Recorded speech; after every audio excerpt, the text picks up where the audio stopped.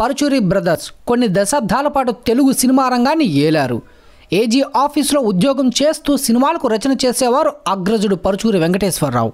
ఉయ్యూరు కాలేజీలో తెలుగు లెక్చరర్గా పనిచేస్తూ అన్నయ్యకు అప్పుడప్పుడు రచనలో సహాయం అందించేవాడు చిన్నవాడు గోపాలకృష్ణ. వీరిద్దరికి పరుచూరి బ్రదర్స్గా నామకరణం చేసి ఆశీర్వదించిన ఘనత నందమూరి తారక రామారావుది అప్పటి నుండి కొన్ని దశాబ్దాల పాటు తెలుగు సినిమా రంగంలో రచయితగా చక్రం తిప్పారు ఈ మూడు వందలకు పైగా చిత్రాలకు రచన చేశారు. పురాణ ఇతిహాసాలను ఉదహరిస్తూ సంభాషణలు రాయడంలో పరుచూరి బ్రదర్స్ ది ప్రత్యేకమైన శైలి. కథ మాటలు స్క్రీన్ ప్లే అందించడమే కాదు కొన్ని చిత్రాలకు దర్శకత్వం వహించారు. ఆ శాఖలోనూ తమదైన ముద్ర వేశారు. మరో విశేషం ఏంటంటే ఈ అన్నదమ్ములు వెండితెరపై పలు చిత్రాల్లో నటించి అలరించారు. వాచకంలో తనదైన బాణీని పలికించిన గోపాలకృష్ణ కంటే సాత్వికమైన పాత్రలతో వెంకటేశ్వర పోషించి మెప్పించిన పాత్రలే అధికం.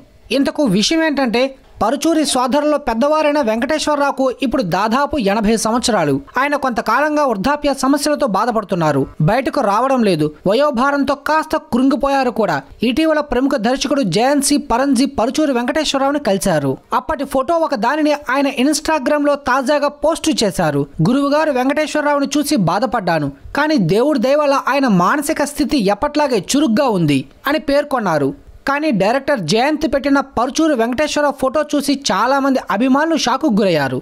గురువుగారు మీరు ఇలా అయిపోయారేంటి అంటూ కొందరు ఆవేదన వ్యక్తం చేశారు. కాలంతో పాటు పెరిగే వయస్సు దానితో పాటు మనిషిలో వచ్చే మార్పులు స్వీకరించక తప్పదు కదా. ఇదే విషయం. ఇలాంటి మరిన్ని లేటెస్ట్ అప్డేట్స్ కోసం ఐ లవ్ యూ రాజా ఛానల్ని సబ్స్క్రైబ్ చేసుకోవడం మర్చిపోవద్దు. Thanks for watching.